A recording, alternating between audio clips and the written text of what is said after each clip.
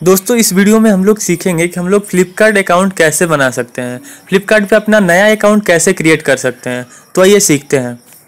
सबसे पहले दोस्तों, आपको ये फ्लिपकार्ट एप्लीकेशन प्ले स्टोर से जा करके इंस्टॉल कर लेना है। इंस्टॉल करने के बाद इसे ओपन करना है। ओपन करते ही दोस्तों, देखिए यहाँ पे साइन अप करने का आ गया और यहाँ पे नंबर फिलअप करने का एक कॉलम भी खुल के आ गया है। तो हम लोगों को यहाँ पर अपना नंबर फिलअप कर देना है।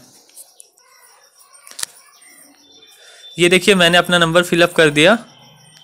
फिलअप करने के बाद दोस्तों, ये जो बटन है साइन अप का, इस पर आपको क्लिक कर देना है।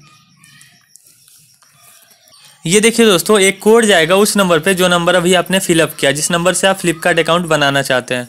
तो वो नंबर अगर उसी स्मार्टफ़ोन में लगा हुआ रहेगा, जिस स्मार्टफ़ोन में आप फ्लिपकार्ट का अकाउंट बना रहे हैं तो ऑटोमेटिक यहाँ पे फिलअप हो जाएगा। और अगर किसी दूसरे स्मार्टफ़ोन में वो नंबर लगा हुआ है तो यहाँ पर देखिए ब्लू कलर का एक लिखा हुआ आ रहा है इंटर कोड मैनुअली इस पर आपको क्लिक कर देना है।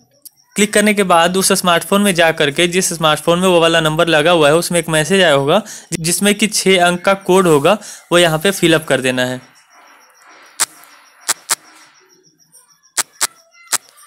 ये देखिए दोस्तों फिलअप करते ही ऑटोमेटिकली ये नया पासवर्ड सेट करने का एक कॉलम खुल के आ गया।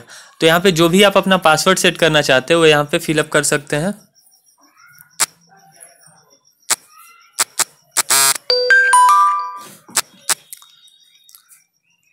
फिलअप करने के बाद दोस्तों यहाँ पे डन पे क्लिक कर देना है।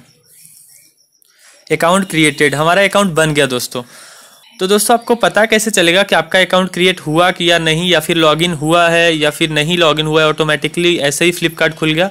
तो उसके लिए दोस्तों आपको देखिए यहाँ पे थ्री लाइंस दिख रहे हैं। इस पर आपको क्लिक कर देना है। क्लिक करने के बाद यहाँ माई अकाउंट का एक ऑप्शन है, इस पर आपको क्लिक करना है। क्लिक करते ही दोस्तों देखिए यहाँ पे दिखा रहा है आपका नंबर जिस नंबर से आप अपना फ्लिपकार्ट अकाउंट बनाए हैं।